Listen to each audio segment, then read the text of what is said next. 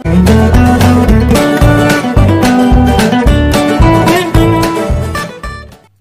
Dear guys कैसे हैं आप सब?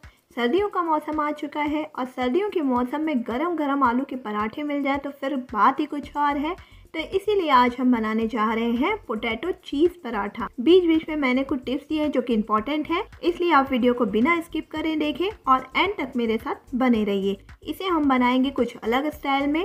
तो चलिए बिना देर के हम स्टार्ट करते हैं। मैं हूँ एकता और आप देख रहे हैं look on to cook on paratha बनाने के लिए सबसे पहले हमें आटा अच्छा गूंदना ज़रूरी है। इसके लिए आटा हम नरम गूंदेंगे इसके लिए मैंने यहाँ पर तीन कटोरी आटा लिया है। उसमें आधी चम्मच हम नमक मिला देंगे और उसे अच्छी तरह मिक्स कर लेंगे। उसके बाद हम इसे थोड़ा थोड़ा पानी डालकर इसका एक नरम आटा गूंद लेंगे।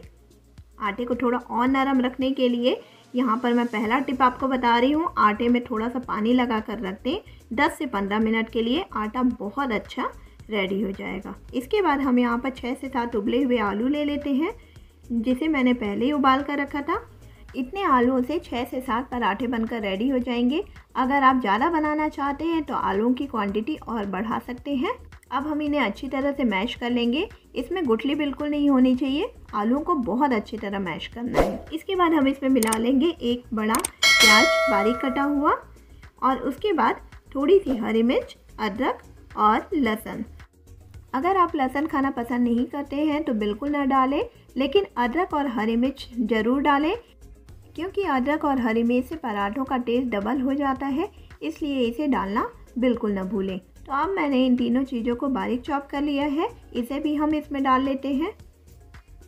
इसके बाद हम इसमें डाल लेते हैं आधी चम्मच से थोड़ा सा ज़्यादा नमक, आधी चम्मच लाल मिर्च, एक चम्मच अजवाइन और अब मैं इसमें डाल रही हूँ थोड़ा सा पनीर, जिससे इसका टेस्ट और ज़्यादा बढ़ जाता है। अगर आपके पास पनीर नहीं है तो आप इसे स्किप कर सकते हैं, सिर्फ़ आलू का पराठा भी बना सकते हैं। इसके बाद हम इसमें डालेंगे हरा धनिया। हरा धनिया बहुत इंपॉर्टेंट है फ्रेंड्स आप ज़रूर डालें। इसके बाद इसे अच्छी तरह से मिक्स कर लें और अगर कोई गुठली रह गई हो तो उसे भी मैश कर दें। अब हम चलते हैं आटे की तरफ़। ये देखिए, आटा कितना नरम हो चुका है। इसमें तेल, घी किसी चीज़ की ज़रूरत नहीं है। आटा बहुत सॉफ्ट रहता है। एक और टिप मैं आपको बताती हूँ, आटे को इस तरह से किसी कंटेनर में डालकर ढक कर रखें तो आटे के ऊपर जो पपड़ी जम जाती है, वो आपकी कभी नहीं जमेगी। और जो हम लोग पलोथन यूज़ करते हैं मतलब कि जो सूखा आटा यूज़ करते हैं, उसे भी हम डब्बे में डाल कर रखें तो उसमें चीटियाँ कभी नहीं आएँगी। और आपको रोज़ और प्लेट में आटा निकालने की और उसे फ्रिज में संभालने की ज़रूरत भी नहीं पड़ेगी। तो अब हम इस आटे से लोइयाँ तैयार कर लेते हैं। लोइयाँ मैं आपको दिखा देती हूँ, इतने बड़े साइज़ की होनी चाहिए, इससे बड़ा साइज़ ना रखें, नहीं तो पराठे में आटे आटे का टेस्ट आता है। अब हम इन दोनों लोइयों से छोटी छोटी सी पुड़ियाँ बना लेंगे।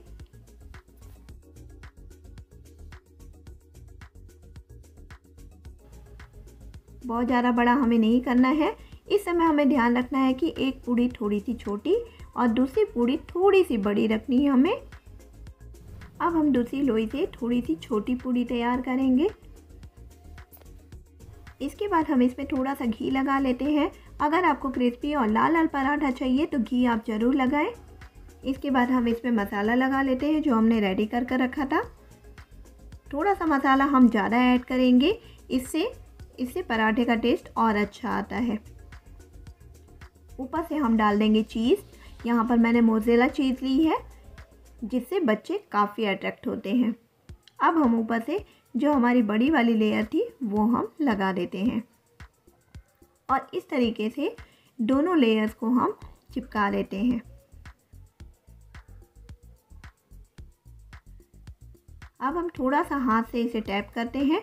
अगर कहीं पर लेयर नहीं चिपकी है तो वो भी चिपक जाती है। थोड़ा सा आटा डस्ट कर कर इसे हल्के हाथों से रोल कर लेते हैं। अब हम इसे पलट पलट कर बेल लेते हैं। अगर आपको बीच में पलोठन लगाने की ज़रूरत पड़ती है तो आप बिल्कुल लगा सकते हैं, लेकिन बहुत ज़्यादा आटा ना लगाएँ। ये देखिए, पराठा बनकर बिल्कुल रेडी हो गया है। अगर आपका मसाला बाहर निकल जाता है तो आप क्या करें? थोड़ा मसाला भरें। और अगर ज़्यादा मसाला भरना चाहते हैं तो किनारे से उसे अंदर की तरफ़ दबाते जाएँ। अब हम पराठे को सेक लेते हैं, जिसके लिए तवा अच्छा गर्म होना चाहिए। उसके बाद पराठे को डालकर हमें एक मिनट इसे पकाना है और फिर इसे पलट देना है। पलटने के बाद हम ऊपर से घी लगा देते हैं। साइड में घी लगाना बिल्कुल ना भूलें। इससे पराठे का टेक्सचर बहुत अच्छा आता है।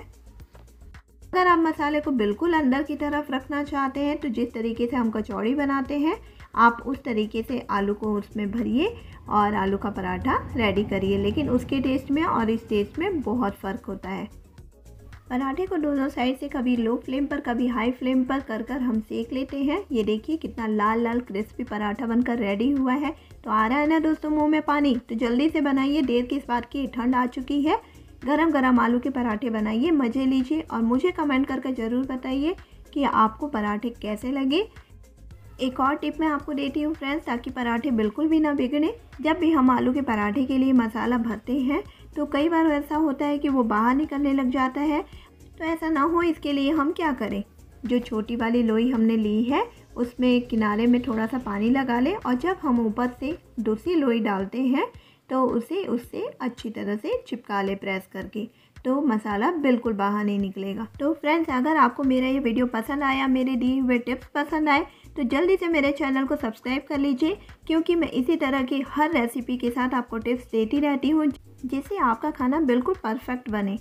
अलग अलग टाइप से आप गोभी के पराठे, मूली के पराठे, जिसके चाहे पराठे इस तरीके से बना कर खाइए।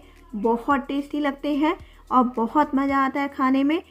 मैं आपको एक लेयर उठा कर दिखाती हूँ कि ये पराठा कितना चीज़ी और कितना टेस्टी बना है। आप चाहें तो इसे साबुत भी खा सकते हैं और कट कर कर भी खा सकते हैं।